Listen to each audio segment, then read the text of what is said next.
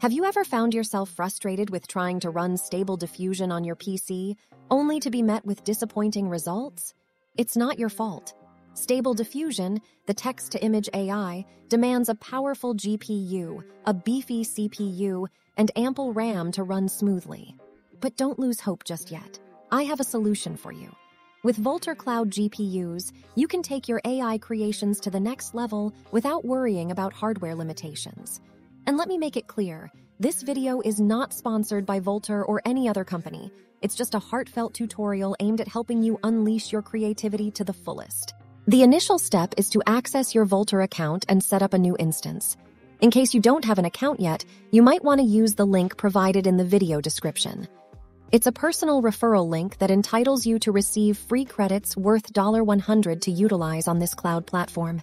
You can utilize this credit for various purposes such as web hosting, developing your VPN, or even running stable diffusion. All right, guys, now it's time to select your ideal server location, operating system, and server size. But hold on a minute.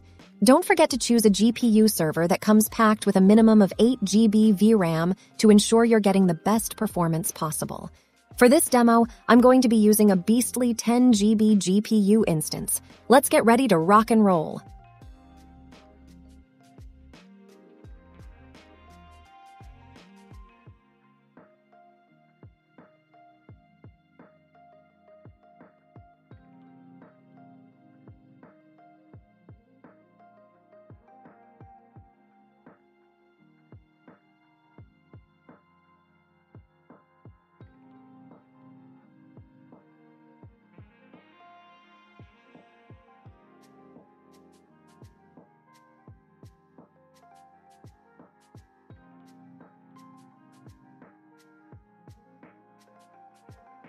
This server will take some time to install. You can click on the console to check the server installation progress. Now, it's time to install Stable Diffusion. Follow the installation instructions provided in the video description. You really just need to copy and paste them in the PuTTY terminal as shown in the video.